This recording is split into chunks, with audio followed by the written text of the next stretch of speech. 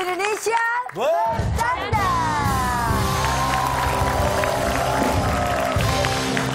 Seperti yang tadi sudah saya janjikan, Ca, tidak hanya pemirsa yang di rumah bisa bertanya, bintang tamu, tapi juga penonton yang hadir di studio bisa langsung bertanya kepada Cak Lontong. Ah, silakan Wah, ini- pertanyaan dari Kang Saudara Deni ya. Iya baik. Kang Saudara Denny. Saudara Kang Deni. Gimana sih? Saudara saya dong berarti. Oh, iya. Saudara Denny. Anda, Anda dari Nah, Anda. saya suka iri kalau ngelihat temen saya iri sama saya. Nah, Wah, ini asik nih.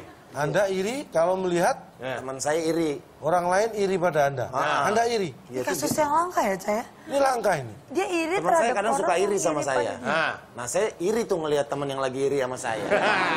ini. Ini. Selama saya jadi motivator, Iya. saya belum selama ini loh. Loh, Nah, iya. saya belum selama ini maksudnya? Maksudnya belum pernah dapat pertanyaan yang... Tapi harus saya jawab. Tapi Iya. saya suka ngalamin itu makanya gimana tuh? ya? Anda bisa merasakan iri kalau melihat orang lain iri pada Anda. Ini langka tapi mungkin terjadi pada Anda. Baiklah begini ya. Anda harus bisa merubah pola pikir Anda. Seperti saya. Supaya kita menghilangkan rasa iri itu, anggaplah teman itu seperti kita sendiri atau saudara kita sendiri. Oke. Maksudnya? Jadi kalau ini contoh sederhananya ya, misalnya kalau ada teman punya anak, ya anak teman anggap anak sendiri. Ah, Anda akan memperlakukan anak teman sama dengan anak sendiri, Iya. ya kan? Lihat orang tua teman, anggap orang tua sendiri. Anda menghormati orang tua teman seperti menghormati orang tua sendiri. Iya. Melihat istri teman, anggap itu istri teman. Ya. Memang istri teman, Ca. Ya, Iya, iya, iya. Kirain istri sendiri. larinya ke arah iri seperti itu. Kalau ada teman iri melihat Anda, Anda iri, anggap dia itu diri Anda sendiri. Masa Anda akan iri pada diri sendiri? Kan nggak mungkin. Iya. Oh, iya. Kalau misalnya yang iri itu lebih tua, anggap itu orang tua sendiri. Nah, Masa Anda iri sama orang tua sendiri? iya. Nggak mungkin. Paham ya maksudnya? Belum. Belum, belum. Saya lanjutkan episode berikutnya. Next question. Next question. Mungkin yang lain ada punya pertanyaan? Aku aku. Oke, Zia boleh? Aku tuh capek ya kalau misalnya mau iri terus gitu sama orang, misalnya Hmm. eh, temen aku ada cowok ganteng, terus aku iri, itu aku capek banget. Hmm. Nah aku pengen nanya nih sama calon tong, kira-kira rasa iri ini bisa diubah nggak sih jadi rasa cinta? Iri dirubah menjadi cinta. Iya. Apakah mungkin, Ca? Oh, mungkin. Mungkin. Wow, mungkin gimana cah? Mungkin dan itu sebenarnya tidak susah. Memang ada tahapannya, ada lima tahapan ya. Lima tahapan, Ca? Ada lima tahapan yang harus dilakukan, tapi sebenarnya tidak mudah. Ini saya akan gambarkan ya. Oke. Merubah iri menjadi cinta. Sip, gambar lagi. Gambar lagi tuh. Eh, itu tulisan ya, Ca? Bukan gambar ya? Ya maksudnya saya tuliskan. Oke. Merubah iri jadi cinta ada lima tahapan yang pertama. Oke. Ini dia nih. Langkah yang pertama Anda lakukan adalah tuliskan C di depannya. Langkah pertama, hapuskan ri. Langkah ketiga, berikan huruf N.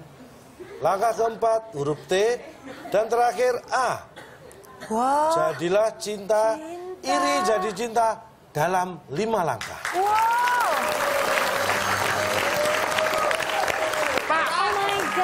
Saya, saya nggak nggak bisa, nggak bisa. nih. Aku terkejut.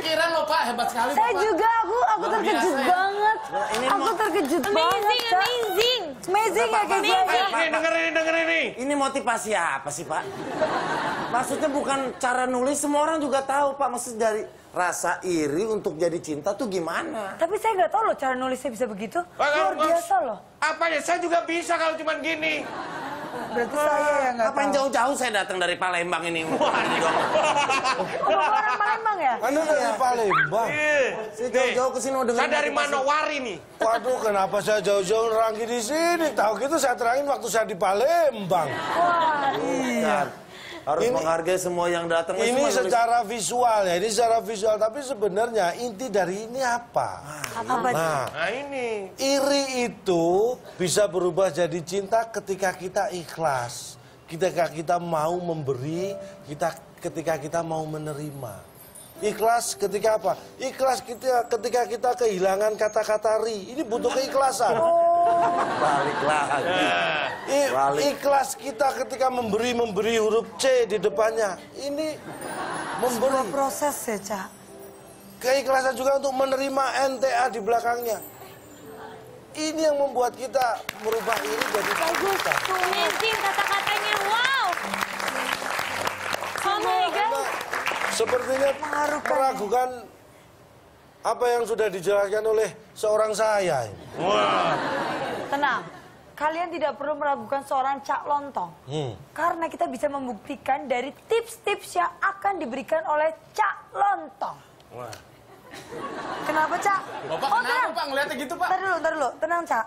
Kali ini saya tidak akan memberikan sebuah diagram ataupun gambar untuk Cak Lontong. Selamat. Bahagia, Cak?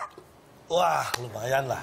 Karena kita akan eh, memberikan tips dalam fishball. Oke, saya ambil dulu ya, Cak ya, sebentar. Kayak stres mukanya. Buka dia. Muka bapak. Bapak, nyerah nggak apa-apa, Pak. Nyerah juga nggak apa-apa. Eh, tidak ada kata menyerah dalam kamus saya. Nah, Karena, saya tidak punya kamus. Cak, karena gini, Cak. Banyak sekali nih, baik penonton yang ada di studio, di rumah tuh suka pada bertanya. Itu jangan-jangan settingan ya? Itu semuanya udah dikasih tahu ya? Oh, ada yang mengira gitu. Iya. Jadi sekarang saya Jahat sediakan... sekali sih kalian. Saya akan eh, memberikan kesempatan pada bintang tamu Ya. untuk mengambil salah satu kertas yang ada di dalam fishball dan memberikan tipsnya langsung ke penonton. Jadi ini langsung bintang tamu yang ambil. Oh, ya. Jadi tidak ada rekayasa, Cak. Silakan Kezia boleh maju ke sini, boleh tepuk tangan untuk Kezia. Ini tips. Tips-tips Tips. agar tidak iri. Ya, Tips ya, ya. harga. Iya. Ya, boleh diambil, Ambil. Kezia. Buat Eh, yang dibuka dan dikasih lihat langsung ke penonton ya. Buat yang datang ntar nomornya disamain sama nomor kursi ada kulkas. Bapak ini bukan undian, Pak. Ini. Mengkonsumsi sumber kalsium. Tuh. Nih, Jadi bagi Anda ya yang iri karena mungkin tinggi tubuh Anda tidak setinggi teman-teman Anda, Iya. ini yang harus Anda lakukan. Mengkonsumsi Sumber sumber-sumber kalsium.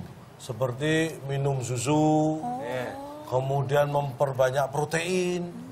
Itu supaya pertumbuhan tulang Anda bagus. Oke. Seperti Anda juga jangan hemat-hemat tenaga dan harus rajin-rajin untuk manjat. Manjat apa itu? Wah, memanjat pohon, usahakan itu manjat pagar dan tidak lupa manjatkan doa. Biar cepat tinggi. Supaya ikhtiar kita ini bisa lebih berhasil. Wow. Tuh. Ayo ngomong luar biasa. Enggak. Enggak. Selanjutnya maksudnya, selanjutnya tips Masih ada selanjutnya. lagi? Masih, Cak. Kezia boleh ambil lagi? Oh iya. Ayo, Ayo, boleh pertanyaan. Eh, Caca. Kezia ya, Kezia yang ambil. Aku yang ambil. masih ada lagi. Ada. Masih ini yang terakhir ya? Ini yang terakhir.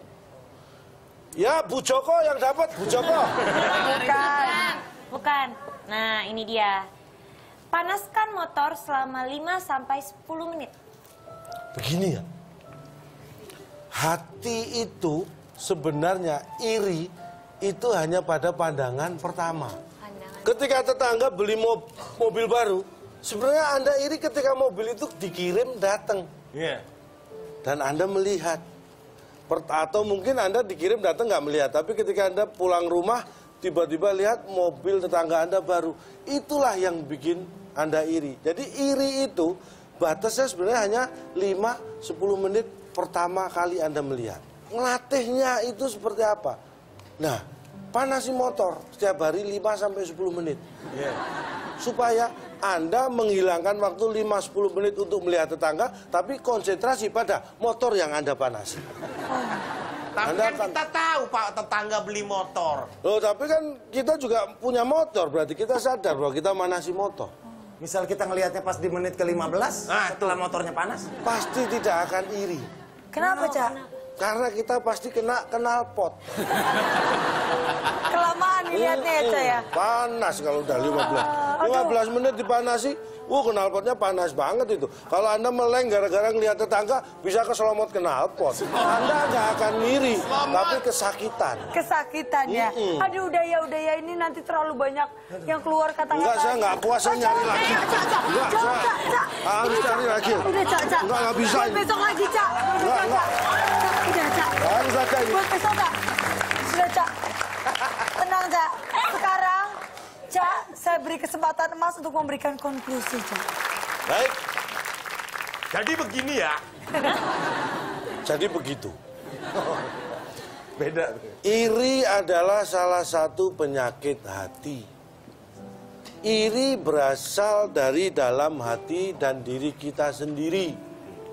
Ingat, sesuatu yang datangnya dari kita sendiri, maka akan merusak diri kita sendiri. Ya. Iri bisa mengubur diri. Hati-hati.